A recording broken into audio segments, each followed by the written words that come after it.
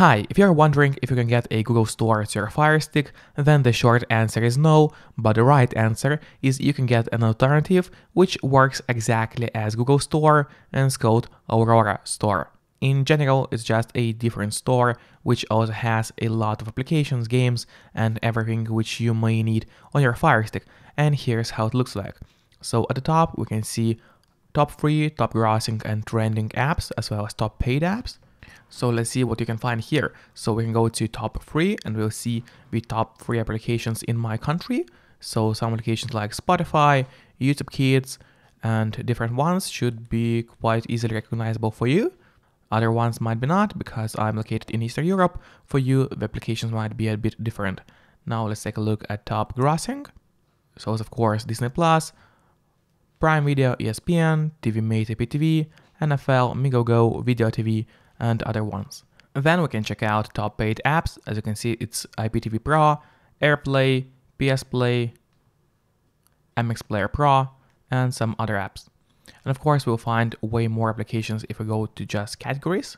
So there's a plenty of categories to choose from, such as beauty, business, comics, dating, education, entertainment, of course. Let's open entertainment, let's say, and see what's inside.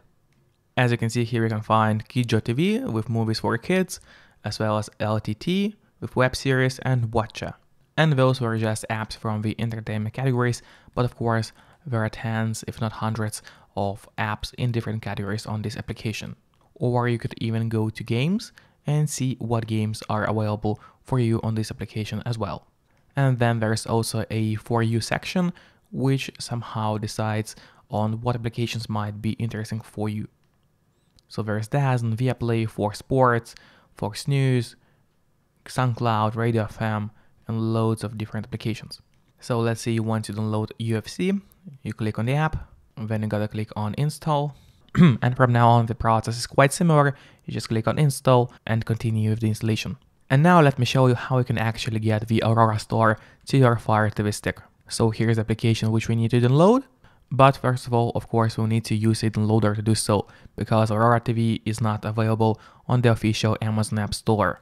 So you open the downloader app. Here we'll have to type a code, which is going to be 28907. So once again, the code is 28907, and then you press on go. Then a web page is going to open, which we have to scroll down a bit until you see a list of categories, and here we'll have to click on app stores. Then you'll see a list of applications and you gotta open Aurora Store.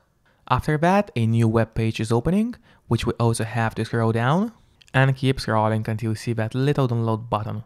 Now the download has started. Click on install here in the right bottom corner. And before actually clicking open, instead press on done. Here you'll be able to delete the installation file because we don't need anymore, so click on delete.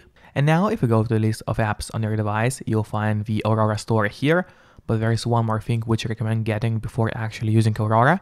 It's of course the mouse toggle application, which is going to allow you to use a mouse cursor on any app. So here's how it looks like. It basically allows you to use a mouse cursor on any application and it's going to make your life way easier.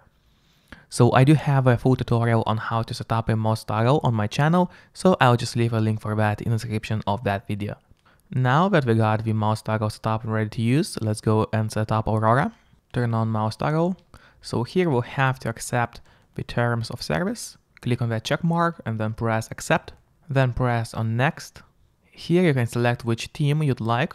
So it can be light for a light theme, dark, pitch black, or just use the system as I do. Then it's going to be white in that case. Here you can also select a color for your interface. It's completely up to you. I honestly quite like the basic purple look. Here it is. Press on next.